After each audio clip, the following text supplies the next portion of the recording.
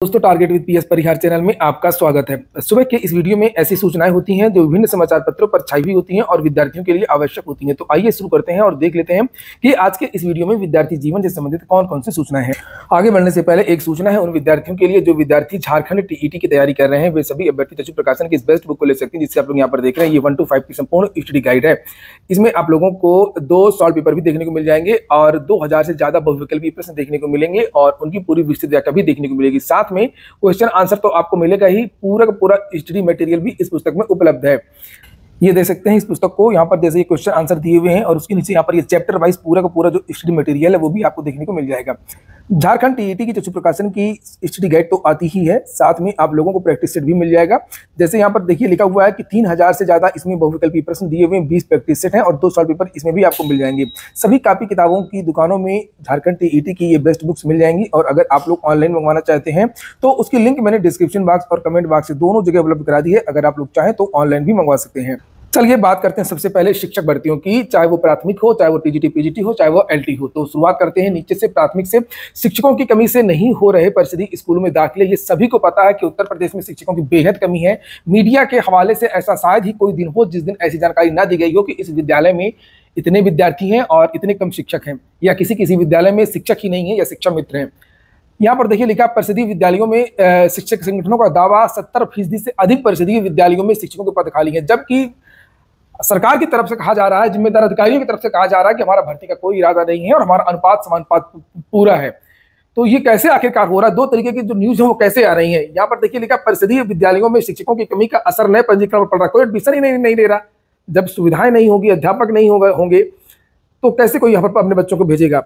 लिखा कई ऐसे स्कूल हैं जहाँ दूसरे विद्यालय में कार्यरत शिक्षक को पढ़ाने की ज़िम्मेदारी दी गई है। शिक्षकों की कमी की वजह से हड़ाइन खेड़ा गंगा दिन खेड़ा परिषदीय विद्यालय में अभिभावक अपने बच्चों का प्रवेश कराने से भी कतरा रहे हैं। आप लोग इस वीडियो को ज़्यादा ज़्यादा शेयर कर दें कि इस वीडियो को मुख्यमंत्री स्वयं देखें और शिक्षा मंत्री स्वयं देखें, ताकि ये पता चले कि जो परिषदीय विद्यालयों की जो स्थिति है वो कैसी है। परिषदीय विद्यालय ही नहीं, एलटी की भी बात अभी करूँगा मैं, टीजीटी, पीजीटी की भी बात करूँगा कि वास्तव में चीज़ें क्या है और चुनाव हारने का कहीं वास्तविक कारण यही तो नहीं है।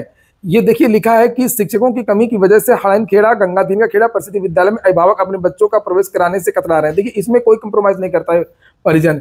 चाहे जितने गरीब हो चाहे जो भी हो अपने बच्चों को अच्छी शिक्षा देना चाहते हैं उनकी ज़िंदगी खुद कैसी भी बीती हो बेचारे क्या करें लेकिन वो चाहते हैं कि जो उनकी आगे, आगे वाली जो पीढ़ी है वो पढ़े लिखे और अच्छे रोज़गार को प्राप्त करे।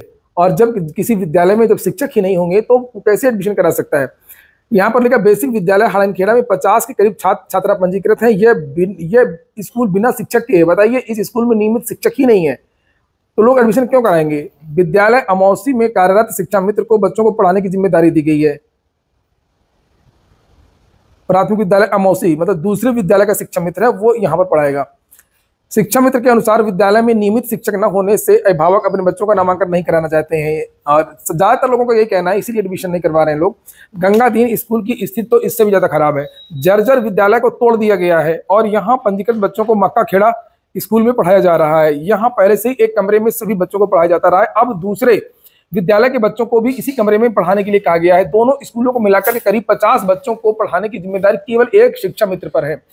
आपको पता होगा सरकार ने क्या कहा था पत्र में? बाईस अनुपात एक अनुपात है। बाईस बच्चों पर एक शिक्षक है। और यहाँ पर देख लीजिए, आप लोग एक भी शिक्षक नहीं है, शिक्षा मित्र है। उत्तर प्रदेश उत्तर प्रदेशीय माध्यमिक शिक्षक संघ के जिला कोषाध्यक्ष हरिशंकर राठौर ने बताया कि ज़िले में लंबे समय से शिक्षकों की कमी है। पंद्रह साल से यहाँ पदोन्नति नहीं हुई है। विभाग की ओर से शिक्षकों का समायोजन हो तो विद्यालयों में शिक्षकों की कमी दूर होगी। बी एस राम प्रवेश ने बताया कि शिक्षकों की कमी और समायोजन की जानकारी हमने शासन को दे दी है। शासन स्तर पर जारी फैसले के आधार पर कार्य करेगा। कर लेना समायोजन उससे भी कुछ नहीं हो पाएगा। समायोजन का मतलब ये होता है कि जहाँ पर जहाँ पर बच्चे कम है और शिक्षक मान लीजिए दो हैं, बच्चे कम हो गए एडमिशन नहीं लिया तो वहाँ का एक शिक्षक उठा करके ऐसे विद्यालय में भेजी जाएगा जहाँ पर कोई शिक्षक नहीं है। यहाँ का वहाँ करना है, यहाँ की टोपी वहाँ पहनाना है। डीएलएड परीक्षा के लिए अगर किसी ने अभी आवेदन ना किया हो तो आवेदन कर कल रात मैंने एक वीडियो भी बनाया था, लेकिन डीएलएड प्रथम और तृतीय सेमेस्टर परीक्षा के लिए आवेदन की तिथि एक दिन के लिए बढ़ाई गई है। अब अभ्यर्थी एक अगस्त तक ऑनलाइन आवेदन कर सकते हैं। डीएलएड की सेमेस्टर परीक्षा आठ से लेकर के चौदह अगस्त के बीच में कराई जाएगी। अगली सूचना एलटी ग्रेड को लेकर के है। एलटी ग्रेड और प्रवक्ता भर्ती को लेकर के गर्जे प्रतियोगी छात्र। गरजने से कुछ होता तो अब तक भर्ती आ गई होती। पचासों बार इस तरीके से गरज चुके, बरस चुके हैं, लेकिन कुछ हुआ नहीं है। चाहे लोक सेवा आयोग में हो, चाहे वो शिक्षा निदेशालय में हो, और हमेशा से रटा रटाया जवाब आता रहा है कि बस अंतिम चरण में है। समकक्षता विवाद अंतिम चरण में है। समकक्षता विवाद अंतिम चरण में है। और वही रटा रटाया जवाब यहाँ पर दिया गया लिखा है कि एल सहायक प्रवक्ता एवं भर्ती कई वर्ष से नहीं आने से नाराज़ प्रतियोगी छात्रों ने उत्तर प्रदेश लोक सेवा आयोग और शिक्षण निदेशालय परिसर में धरना दिया। तो यहाँ किसी अधिकारी से छात्रों की वार्ता वगैरह तो नहीं हुई है, ये देखिए यहाँ पर लिखा है और काउंटर पर तीन सूत्री ज्ञापन दे दिया तो ज्ञापन तो यहाँ पर बीस बाईस दिए जा चुके हैं। इसमें प्रतियोगी छात्रों ने एलटी प्रवक्ता भर्ती का विज्ञापन शीघ्र जारी करने की मांग की है। और ये लिखा हुआ कि ये अजय कुमार को भी ज्ञापन दिया, ज्ञापन देने वालों में छात्रों के नाम लिखे हुए लेकिन हाँ एक बात सही है कि इस पर काम हो रहा लगातार। लगातार काम हो रहा है, जैसे लोकसभा चुनाव के परिणाम आए हैं, उसके बाद से संकट अर्ता को लेकर के कहा गया, लगता अभी तक अधिकारियों ने कुछ किया ही नहीं है। और उसमें जो संकटता वाला मामला है, एक ये है, और दूसरे नियमावली को बदलाव को लेकर के भी है। और मैंने आप लोगों से कहा भी था कि एलटी में संकष्टता विवाद वाला जो विवाद है, वो अंतिम चरण में है। मुख्यमंत्री ने खुद ही इसके बारे में निर्देश दिए हैं और साथ में इस विज्ञापन को आने में कम से कम दो से ढाई महीने अभी लगना तय है। ये भी मैंने आप लोगों को जानकारी अपने चैनल के माध्यम से दी थी। कम से कम दो से ढाई महीना समय इसमें लगेगा। इसको लेकर के अन्य समाचार पत्रों में भी जानकारी दी गई, जैसे अमर उजाला ने यहाँ पर लिखा है, जल्द सुलझेगा अर्थ विवाद और होगी भर्ती। ये देखिए, यही पेपर में दिखा दूँगा आप लोगों को 2020 का, उसमें भी ऐसे लिखा था। वैसे इसको लेकर के भी अगर शासन स्तर पर दबाव बनाया जाए तो ज़्यादा बेहतर होगा। प्राथमिक का आप लोगों ने देख लिया, एलटी का आप लोगों ने देख लिया। अब देखिए यहाँ पर टीजीटी पीजीटी इस पेपर में रोज आता है और यहाँ पर लिखा, इकतालीस सौ पदों पर तेरह लाख आवेदन भर्ती कब होगी? पता नहीं, ये भारतीय जनता पार्टी वाले या उत्तर प्रदेश सरकार जो भी है, मैं विरोधी नहीं हूँ, बिल्कुल भी। लेकिन मैं छात्रों का हितैषी हूँ। और यहाँ पर देखिए लिखा, इकतालीस सौ पदों पर तेरह लाख आवेदन भर्ती कब होगी, इसका पता नहीं है। सहायता प्राप्त माध्यमिक विद्यालयों में शिक्षित स्नातक पीजीटी और प्रवक्ता पीजीटी के चार पदों पर भर्ती के लिए तेरह लाख से अधिक बेरोजगारों का इंतज़ार दो साल बाद भी पूरा नहीं हो सका है। उत्तर प्रदेश माध्यमिक शिक्षा सेवा चयन बोर्ड ने सोलह जुलाई दो तक टीजीटी पीजीटी बाईस के लिए ऑनलाइन आवेदन लिए थे और इसके लिए तेरह लाख तैंतीस हज़ार एक सौ छत्तीस अभ्यर्थियों ने दावेदारी की थी। इसके बाद उत्तर प्रदेश शिक्षा सेवा चयन आयोग का गठन हो गया और सहायता प्राप्त माध्यमिक विद्यालयों में प्रधानाचार्य व शिक्षकों के चयन का अधिकार नवगठित आयोग को मिल गया। वही सब बातें लिखी हैं, लेकिन यानी कि आवेदन ले लिए गए हैं और परीक्षा नहीं की जा रही है। और उत्तर प्रदेश के तेरह लाख परिवार इससे प्रभावित हैं। सुप्रीम कोर्ट का डंडा पड़ा था पिछली बार तो भर्ती रिकॉर्ड समय में भले ही पूरी हो गई थी 2021 लेकिन ये टीजीटी पीजीटी के विद्यार्थी ऐसे होते हैं कि ये अपनी भर्ती के स्पेशलिस्ट होते हैं, ज्ञाता होते हैं, पढ़ते हैं, लेकिन सिलेबस कुछ ऐसा होता है कि ये विद्यार्थी दूसरी भर्तियों में हाथ पैर नहीं मार सकते हैं।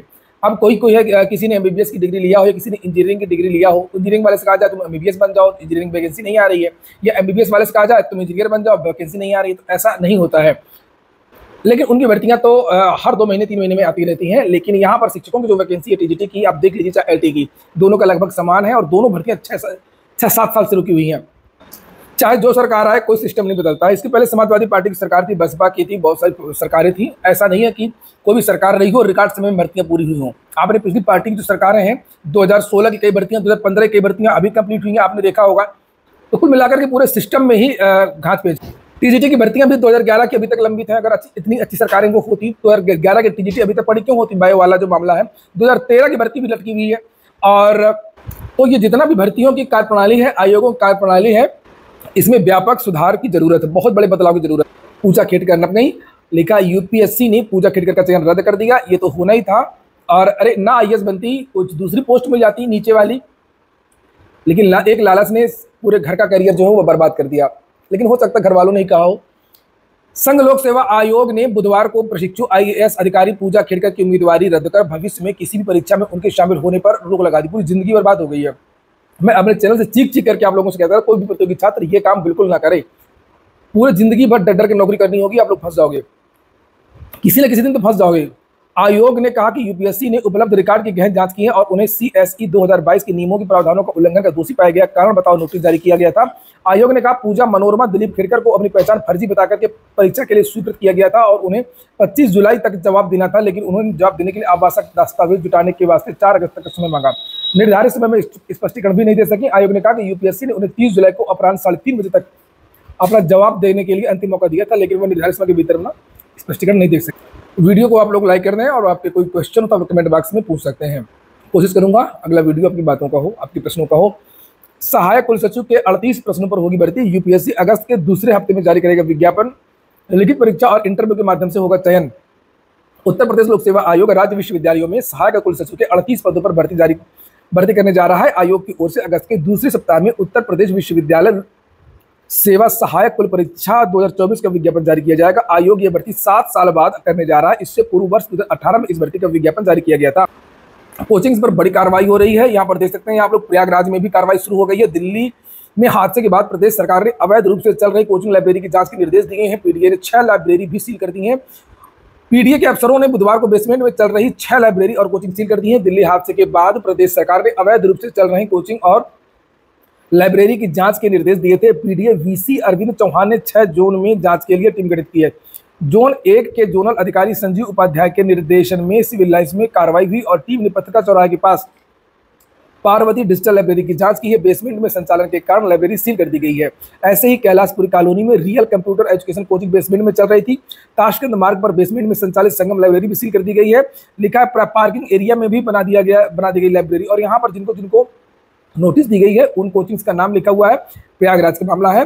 लिखा Sanskrit coaching, civil lines, Saket coaching Pragati coaching, Colonelganj physics वाला coaching, civil lines, vision library Utkarsh library success mantra library और Aakash coaching Naini Sunbeam classes Naini the tuition point Naini climax academy Phaphamau Deeptiman academy Shantipuram in coachings पर कार्रवाई की गई है notice दिया गया है।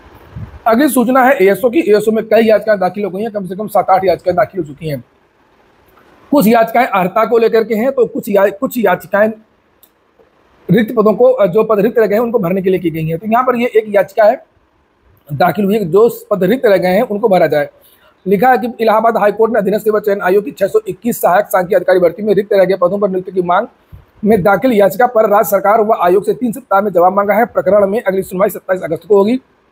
यह आदेश न्यायमूर्ति जज मुनीर ने दीपक कुमार व सात अन्य की याचिका पर अधिवक्ता मुजीब अहमद सिद्दीकी को सुन करके दिया है। नीचे मामला भी लिखा हुआ है कि मामला क्या है? इसमें लिखा हुआ है कि इसमें बाईस सौ अड़तालीस अभ्यर्थियों को डीवी के लिए बुलाया गया। छत्तीस आरक्षण से पद भरे गए किंतु सत्ताईस विद्यार्थी योग्य विद्यार्थी नहीं मिलने के कारण जो पद हैं वो रिक्त हैं। इन पर आरक्षित कोटे में नियुक्ति की मांग की गई है। कोर्ट ने निबंधक को आदेश की प्रति सचिव economics statistics division, state planning institute के निदेशक, परिवार कल्याण विभाग और आयोग को भेजने का आदेश जारी किया है। वहीं पर कल यूपी ट्रिपल ने दो तीन नोटिस जारी की थी। आपने देखा होगा, सुबह टेंडर इत्यादि को लेकर के। और देर शाम को कल जेई 2018 का जो परिणाम है वो जारी कर दिया। अब देखिए अब देखिए क्या बैग में पिस्तौल लेकर के स्कूल पहुँचा, नर्सरी का छात्र तीसरे के छात्र पर चलाई गोली, अस्पताल में भर्ती। बड़ा सवाल है, आखिरकार बच्चों में ऐसी भावना कैसे आ रही है? इतना ज़्यादा विकसित कैसे हो रहे हैं? कौन सा बॉन बीटा इन्होंने पी लिया? बिहार के सुपौल ज़िले से बहरान करने वाली घटना आई है, जहाँ नर्सरी पढ़ने वाला पाँच साल का एक बच्चा बैग में पिस्तौल लेकर के स्कूल पहुँच गया और उसने तीसरी कक्षा के एक छत पर गोली चला दी, जो उसकी बाह में जा लगी और इससे स्कूल में अफरा तफरी बच गई। नर्सरी का छात्र था, जो तीसरी कक्षा क्लास था, उसको उड़ा दिया। हालाँकि वो बच गया और तो और रहा। कॉलेज से भाग भी गया, किसी ने पकड़ा भी नहीं। लेकिन आनंद फालन में स्कूल प्रबंधन ने घायल बच्चे आसिफ को अस्पताल में भर्ती कराया और जहाँ उसका उपचार चल रहा, पुलिस के स्कूल, पुलिस ने स्कूल के मालिक संतोष कुमार को गिरफ़्तार कर लिया है।